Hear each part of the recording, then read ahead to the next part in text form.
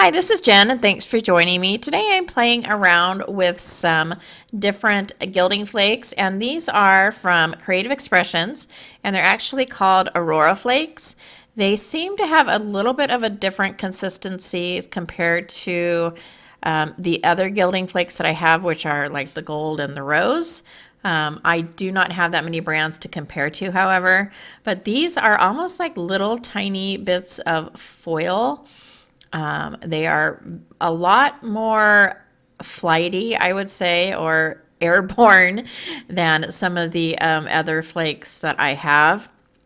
Um, so they are super, super messy. So I'm going to show you some different ways to use these today and also some ways to try and contain them and clean them up. And the Aurora Flakes, I believe there are about 10 different color combinations. So the ones that I have are mostly like a silver uh, combination with a color or a gold with a color or just um, two solid colors. And this green and gold one is probably one of my favorites, but they have some really pretty colors. So to apply these it's basically the same for any adhesive that you use. So as you can see, I have some adhesive down that's tacky and I'm going to take the Aurora flakes and spread them out and then burnish them with my fingers. So basically I am just pushing those flakes onto that adhesive so that it sticks. And the next step would be to go ahead and remove the excess flakes. So I'm using a stencil brush here, but you can use a nail file or something that has a little bit of bristle or roughness to it. And so basically on this part, you're just going ahead and removing all of the flakes that are attached to other flakes that are not actually attached to the adhesive. And the bristles of the stencil brush are just grabbing all of those little clumps that are not actually adhered and removing that. So this is a really easy way to get a lot of those excess flakes off of your um, project piece. Um, I am using a piece of white paper to capture all of my flakes. It's, I believe it's about 11 by 17 in size. Um, I prefer to use that um, rather than plastic, and I'll tell you why in just a minute. Um, the One of the last steps is to take either a soft brush, I'm using a ink blending brush from scrapbook.com. Wipe off more of those flakes and then the last step is to take a, a, fabric softener or a dryer sheet and run it over your project. This is great. It captures a lot of that excess um, that is left over after you've completed the previous steps and just a great final step for removing the excess. It's also good for removing some of the material from your hands, but not all. Um, so here are the gilding flakes that I have that are the copper and the gold. These are, um, I cannot remember the name of the brand. I think it's Blue Indigo or something like that. Um, so here's just kind of a comparison between these and the Aurora flakes. Um, these flakes are also right here a lot softer than the Aurora flakes are.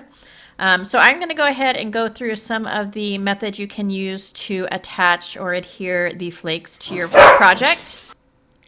That was a video bomb from my dog. Um, so the first material you can use is the same material you use to adhere foil, and that is the Deco Foil. I'm using the Deco Foil Duo. Um, so you're just going to apply that however you're going to apply that, whether it's through a stencil or straight on your project, and let that dry till it's clear. And then you add the flakes, and then you follow the steps that I mentioned previously um, from applying to burnishing to wiping off. And that will give you a really pretty project. Um, I love the uh, Decofoil um, gel. It's a, a, great method to apply these flakes. Um, the next method is to use sticky embossing powder. Um, this is my least favorite method. It happened to work for me this time, but it is a little temperamental. It's basically the same as applying embossing powder. So you want to go ahead and use your Versamark ink or your embossing ink and then spread the powder. So spread the sticky powder on your project. Um, the thing about the sticky powder is you have to heat it um, the perfect temperature for it to actually stick. Um, so like I said, I I did this several times with several different stamps and this is the only one that turned out for me. So I recommend making sure your heat gun is um, heated up a little bit before you take it to the paper and just try and evenly distribute that heat across your image.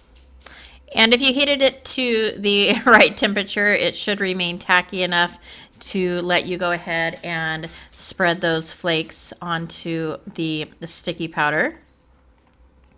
And then it's just following the same steps with applying and burnishing um, this one had a really a lot of detail in it, so um, I was really pleasantly surprised that I was able to get this to come out with that um, sticky powder because the stamp does have a lot of little lines and um, detail in it. So this is the a second material that you can use to um, adhere these flakes. So the next one is Aleene's Tack It Over and Over.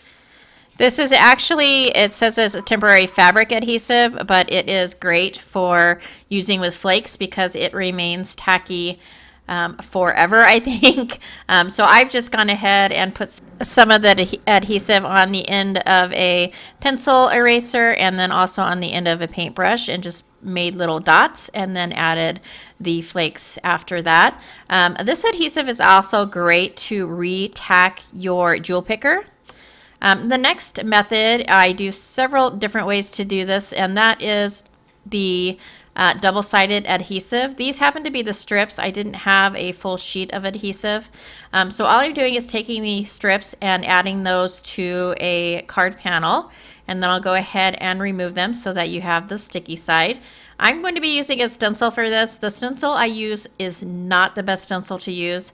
I'm using one of those stencils that's kind of a thin plastic and it was an adhesive stencil. But I did this project and I ended up not being able to use the stencil again because there were too many flakes uh, stuck all over it. So you just need to make sure that you're using one of the hard plastic stencils or, you know, what we normally would use for stencils and not an adhesive stencil.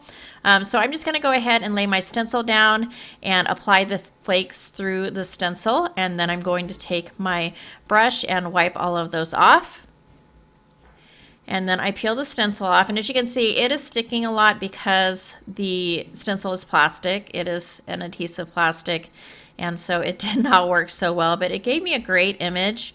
Um, and then you're going to have all of that sticky area that was not filled in. And I kind of went a little overboard on the glitter, but I'm using glitter on this, but you can use a another color of a flake and I wanted to mention that I use paper to capture all of my excess and not plastic because these flakes in particular are very staticky and attached to plastic and it's very difficult to get them off. And so for me, the paper was a lot easier to just slide off and into the container rather than using a plastic container because they will stick to the plastic and are difficult to get off.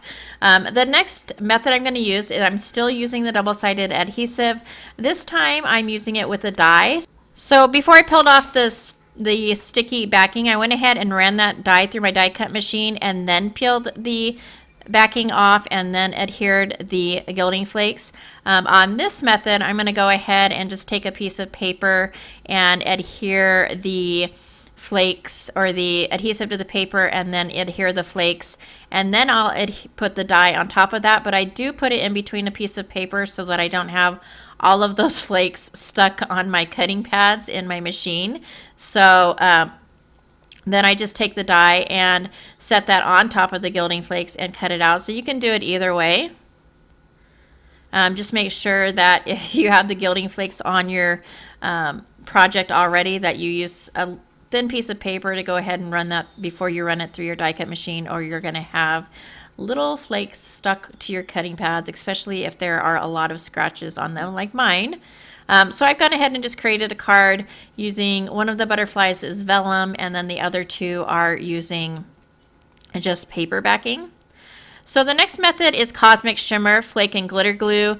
This stuff is made for these flakes. This is a great um, way to adhere flakes. Um, I have a sentiment stamp that is basically words and I'm using this stamp to just to show how well this works. So I just put a little bit of the glue on a piece of plastic and then I'm taking a makeup sponge and just bouncing that onto my stamp. I'm going to do this uh, several times just to make sure I have a good impression of the image. And then I'm going to take my gilding flakes and go ahead and go over it. As you can see, it, it grabbed that detail. It was excellent. This glue is actually by Creative Expressions, which is the same company that made the Aurora Flakes. So the next method is to use um, adhesive spray. I'm using the Elmer's Craft Bond Spray Adhesive.